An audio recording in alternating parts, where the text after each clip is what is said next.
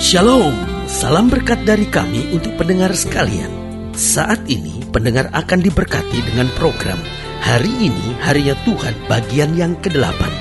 Sebuah program rohani tentang doktrin Alkitab yang menolong kita untuk semakin tertanam dalam kebenaran firman dan bertumbuh dalam kemuliaan bersama hambanya Pendeta Gilbert Lumuendo, STH. Banyak orang merasa doktrin Alkitab sebagai sesuatu yang membingungkan, tetapi tahukah saudara bahwa doktrin Alkitab intinya adalah memahami Alkitab dengan benar, dengan pemahaman yang sistematis, sehingga kita terus dapat tertanam di dalam kebenaran firman, sehingga kita terus bertumbuh di dalam kemuliaan Allah. Buka hati saudara sekalian untuk menerima berkat-berkat firman-Nya hari ini. Salah satu kejahatan iblis adalah pemalsuan dan penyamaran. Karena kalau kita perhatikan apa pun yang Tuhan buat, iblis akan coba memalsukannya dan menyamarkannya. Kita lihat beberapa hal yang coba iblis palsukan dan samarkan misalnya ketenangan dan kedamaian. Wah, iblis mau coba palsukan lewat apa? Lewat seks bebas, lewat apa? Lewat tenaga-tenaga dalam, ya kan? Katanya kalau tenaga dalam, yoga, ini bisa mendatangkan ketenangan dan kedamaian. Terus yang kasih dalam Tuhan, ini kan ketenangan dan kedamaian yang palsu. Belum lagi yang sekarang sedang rame-ramenya juga, ya kan? Bagaimana orang ikut ajaran hipnosis ya kan? Supaya katanya bisa mendapat ketenangan kedamaian. Saudaraku ini kan bukan ketenangan dan kedamaian. Ini kan kepalsuan. Ini kan melarikan diri dari kenyataan. Semuanya itu kan yang namanya yoga yang namanya hipnosis. Tahukah saudara ini kan melarikan diri dari kenyataan. Semua kan yang iblis buat kan gitu. Damai tenang dengan apa? Melarikan diri dari kenyataan. Pergi ke gunung bertapa itu kan sama. Tenang dan damai yang melarikan diri dari kenyataan. Yang Tuhan Tuhan mau adalah kita tenang dan damai di tengah masalah sambil tetap trust in Him, sambil tetap percaya dan mempercayakan hidup kita sepenuhnya kepada Tuhan. Sehingga di tengah badai, di tengah angin ribut, di tengah persoalan, kita tetap percaya bahwa tangan Tuhan yang kuat menyertai dan membimbing kita. Haleluya. Yang kedua yang iblis coba palsukan dan samarkan yaitu kesembuhan dan mujizat. Coba sudah lihat di mana-mana ada yang namanya pengobatan alternatif, ya kan?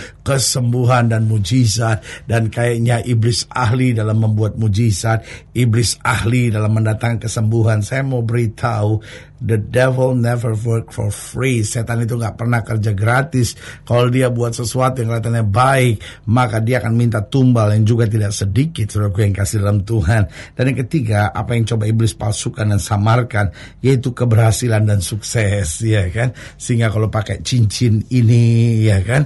Kalau pakai minyak ini digosok di mata, digosok di bibir, digosok di mana lagi, saudara yang kasih dalam Tuhan. Katanya ini bisa akan berhasil akan bisa sukses. Kalau pakai susuk-susuk ini, wah nyanyi bisa terkenal, jadi artis bisa ternama. Gue yang kasih dalam Tuhan, jangan salah. Iblis itu selalu minta tumbal, tumbalnya itu sakit, saudara-saudara.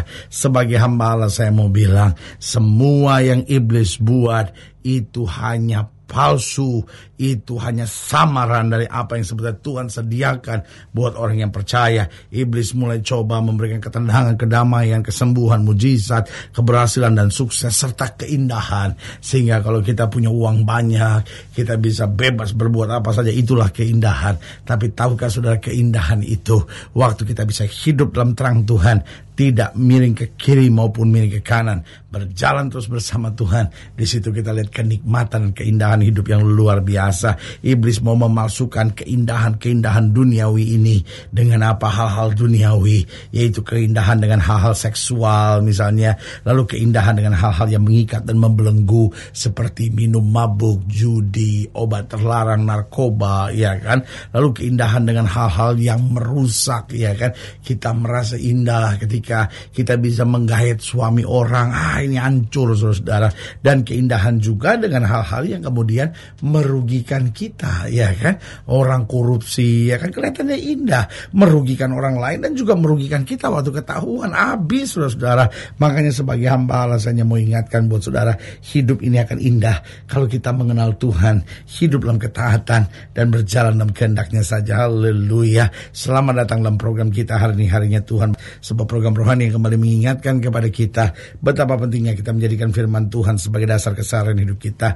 Karena selama kita jadikan firman Tuhan sebagai dasar keseharian hidup kita, langkah-langkah ke depan kita penuh dengan kepastian, kemenangan, berkat mujizat dan perkara-perkara besar. Haleluya. Dan dalam program ini kita sedang membahas tentang keindahan sempurna. Karena keindahan yang dunia tawarkan sementara keindahan yang setan tawarkan adalah kepalsuan. Tetapi keindahan yang Kristus tawarkan adalah keindahan yang sempurna. Haleluya. Nah, saudara yang kasih dalam Tuhan, dalam pembahasan kita tentang keindahan sempurna, kita mau sama-sama belajar dari Yeskiel pasal 27. Yeskiel pasal 27, ayat yang pertama sampai ayat yang ke-11, demikian firman Tuhan. Yeskiel pasal 27, ayat pertama sampai 11, demikian firman Tuhan. Di bawah judul perikop, nyanyian ratapan mengenai Tirus. Datanglah firman Tuhan kepadaku, Hai engkau anak manusia, ucapkanlah satu ratapan mengenai Tirus, dan katakanlah kepada Tirus yang terletak di pintu masuk lautan yang berdagang dengan bangsa-bangsa di banyak daerah pesisir. Beginilah firman Tuhan Allah, hai Tirus, engkau berkata, aku kapal yang maha indah, wilayahmu di tengah lautan, ahli bangunanmu membuat keindahanmu sempurna. Lihat, ahli bangunanmu, membuat keindahanmu sempurna. Lihat apa pun yang Tuhan buat, keindahannya selalu sempurna. Seluruh badanmu mereka buat dari kayu sanobar senir. Mereka mengambil aras Libanon, membuat bagimu tiang layar. Pohon terbantin dari basan dipakai untuk dayungmu. Geladakmu mereka buat dari tulang geding, ditatahkan di cemara dari pantai Kitim. Layarmu diperbuat dari lenan halus yang berwarna-warni dari tanah Mesir. Itulah tandamu dan tendamu diperbuat dari kain ungu tua dan kain ungu muda dari pantai Elisa orang Sidon dan Arwad menjadi pendayungmu, tukang-tukangmu ayat Tirus berada padamu, mereka menjadi pelaut-pelautmu ayat yang kesembilan. Dikatakan tua-tua Gebel dengan ahli-ahlinya berada padamu, hendak memperbaiki kerusakan-kerusakanmu. Segala kapal laut beserta anak kapalnya berlabuh padamu, hendak menukarkan barang dagangannya. Orang Persia, Lut dan Put yang menjadi prajuritmu ada dalam ketentaraanmu. Perisai dan ketopong digantungkan padamu. Mereka menambah semarakmu. Orang Arwat dan tentaranya memanjat di atas tembok-tembokmu sekeliling. Dan orang Gamat di atas menara-menaramu. Mereka menggantungkan perisai-perisainya pada tembok-tembokmu sekeliling.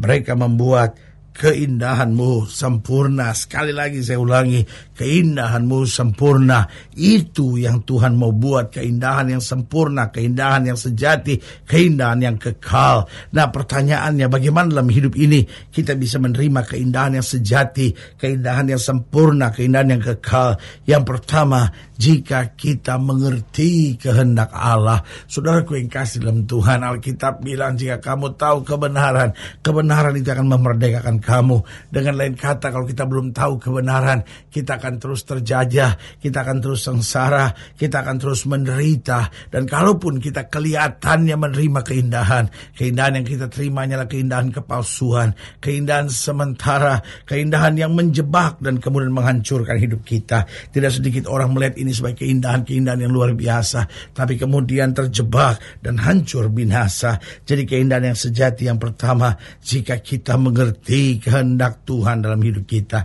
Yang kedua, keindahan yang sejati, keindahan yang sempurna, keindahan yang kekal akan kita terima jika hidup kita jadi berkat buat orang lain.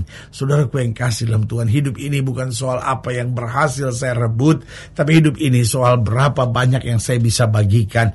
Karena ketika kita bisa berbagi, kita bisa jadi berkat bagi orang lain, maka di situlah kita menerima keindahan. Tahukah saudara, lebih indah kita dapat mendengar orang berkata, terima kasih kasih karena engkau aku tertolong. Daripada orang berkata ini ya aku bisa menolong kamu sekedarnya. Karena kalau orang bilang ini ya aku bisa menolong kamu sekedarnya berarti kita punya hutang sama orang.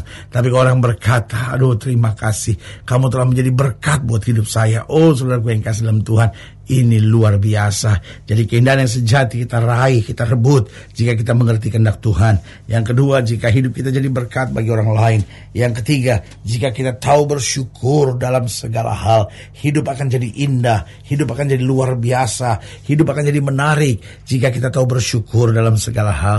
Kalau kita selalu bersungut-sungut, saudaraku, hidup ini akan rasa penuh dengan tekanan, penuh dengan kekecewaan, penuh dengan penderitaan. Tapi kalau kita tahu bersyukur dalam segala hal, kita mendapatkan damai, kita mendapatkan kekuatan, kita mendapatkan tuntunan, bahkan kita mendapatkan kesembuhan dan mujizat dalam hidup kita. Dan yang keempat, yang terakhir, jadi ingat ya, keindahan yang sejati yang pertama, kita dapat jika kita mengerti kehendak Tuhan.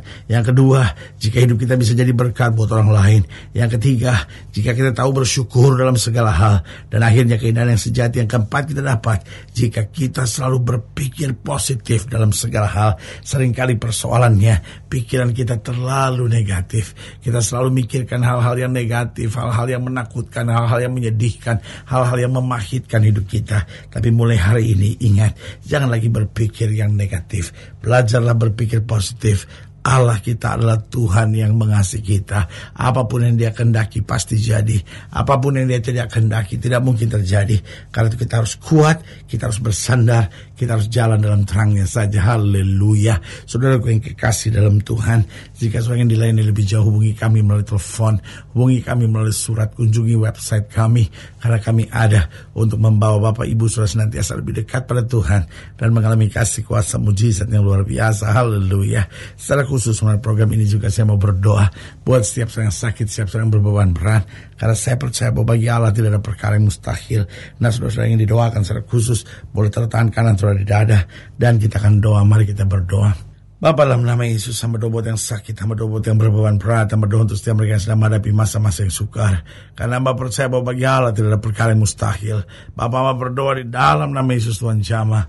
Yang sakit Tuhan sembuhkan, yang lemah Tuhan kuatkan, yang susah Tuhan hiburkan, yang jatuh Tuhan angkat. Sehingga hari-hari yang penuh kemenangan boleh berlaku. Bapak hamba berdoa secara khusus bagi mereka yang taruh tangan kanannya di dada. Karena mungkin hari-hari ini tertipu oleh keindahan duniawi. Hamba berdoa di dalam nama Yesus Tuhan jamah. Anugerah kasih karunia berkat dan rahmat Tuhan boleh terus tercurah buat orang percaya. Di dalam nama Yesus kami berdoa. Haleluya. Amin. Saudara yang kasih dalam Tuhan kita sudah berdoa Ingat Allah tidak pernah lalai menepati janjinya Inilah saatnya buat kita untuk bangkit bersemangat Bersuka cita dalam menghadapi segala perkara Karena kita tahu Yesus hidup, Yesus berkuasa Dan selalu menyediakan yang terbaik buat anak-anaknya Doa saya menyertai saudara